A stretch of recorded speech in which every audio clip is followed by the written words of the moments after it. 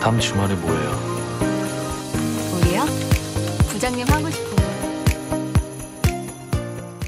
After the night they spent together after they expressed their feelings for each other. Jiwon, who looked radiant, went to the office with Jihyuk like a couple in love. While in the car, Jihyuk kept looking at Jiwon and smiling at her.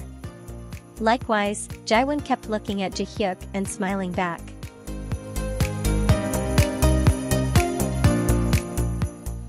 They are still hiding their relationship at least until Sumin marries Minhwan.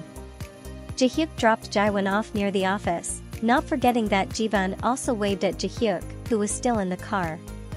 While parking the vehicle, Jihyuk continued to smile and occasionally looked in the direction where he had dropped Jiwon off.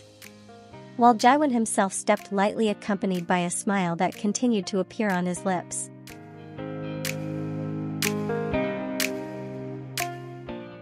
Jihyuk then headed to the elevator and while in the elevator, it turned out that Jiwon was also going to use the same elevator.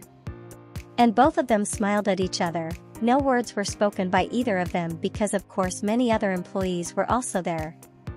Jiwon's work desk happened to face Jihyuk's room, making it easy for Jihyuk to stare at it non-stop.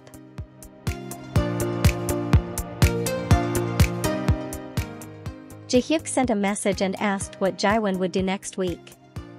We accept whatever the manager wants to do, Jiwon answered while looking at Jihyuk with seductive eyes. Seeing the word Kita in the message sent by Jiwon made Jihyuk feel embarrassed. On the weekend they might mean going to the beach at dusk. The 11th episode will be very exciting, watch the drama which will air on Monday February 5th.